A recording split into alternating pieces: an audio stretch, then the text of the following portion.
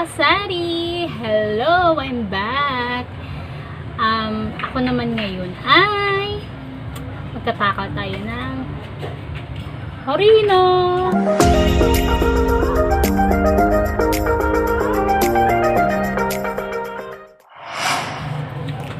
So, guys,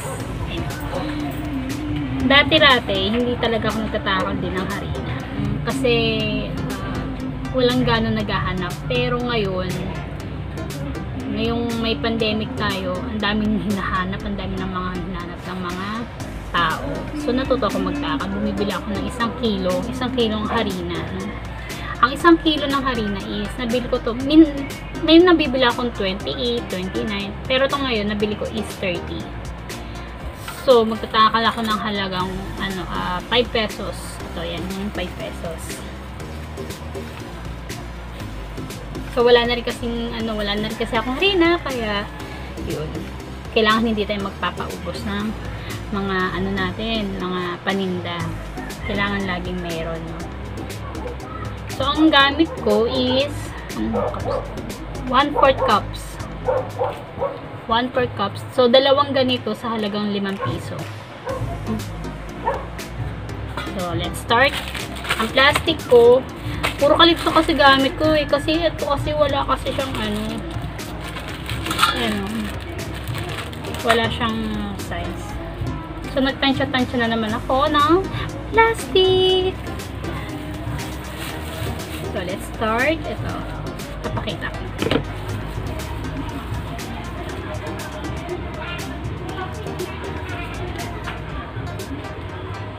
Pagpagpagpag para sumakto siya din dito sa may ano, sa cup natin. Hirap pala.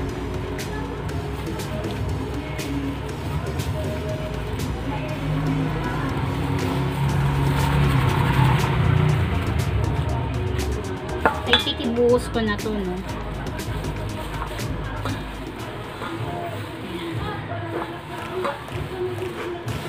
so ako lang talaga naman nagmamanage ng lahat sa aking tindahan pati dito sa aming tahanan uh, lahat gawain ko pati paglalaba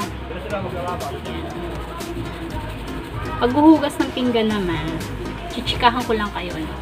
paghugas ng pinggan, uh, tinutulungan na ako ng aking mabuting kapartner. Tapos tuwing Martes lang din ako naglalaba. Tuwing sarado. Ayan. So, ganyan siya kadami. O kaunti, hindi ko alam. so, mamaya, tingnan natin kung ilan, na, ilan yung nagawa natin.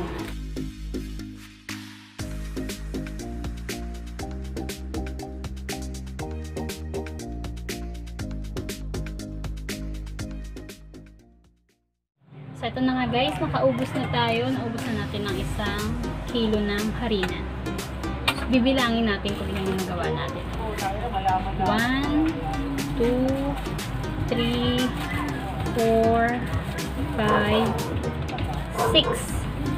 So, 5 times 6 is equal to 30. So, ito yung puhunan na natin, yung 30. So, tanggalin na natin. So, ito maging naging tubo natin. So, 1, 2, 3, 4, 5, 6, 7, 8, 9. Yan, 9 lahat. So, 9 times 5 is equal to, magkano na? 45. 5, 10, 15, 20, 25, 30, 35, 40, 45. 45 pesos na naging tubo natin sa isang kilong ng harina. 30 ang puhunan. Uh, ang tubo niya, so nagawa natin, ay 45 pesos ang ating natubo. Ang, ang kinalabasan no, ng isang kilo. Ang ating nagawa, ang benta, ang tubo ng harina. So, ang gamit natin is 1-4 cups. Kasi ito yung kasya sa bunga ng plastic. So, dalawang 1-4. So, 1 half cup ang halaga ng aking 5 pisong harina. So, thank you guys sa aking sa inyong pagtangkilik sa aking mga vid na way inyo po sanang supportahan. Um, at, at huwag niyong kakalimutan mag-subscribe. Subscribe, subscribe please! Thank you, thank you!